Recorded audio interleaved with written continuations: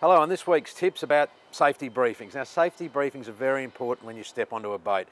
More so for people who've never been on a boat before. You need to explain to them where, first of all, the most important thing, where their life jacket is. You may need to show them how to place the life jacket on, how to inflate the life jacket, and where the life jackets are stored.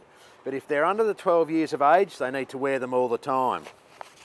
Next, the torch. The torch is for signalling and also it makes it easy to see what you're doing at night around the boat. Third, are flares. Flares are very important.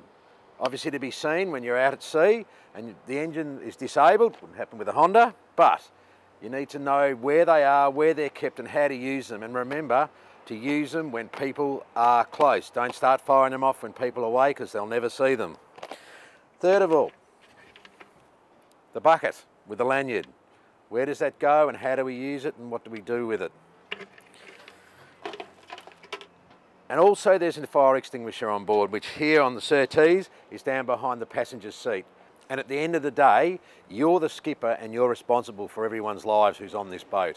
So spend a bit of time with your passengers, showing them how to use all this equipment and where it's kept on a boat, because it could save their life.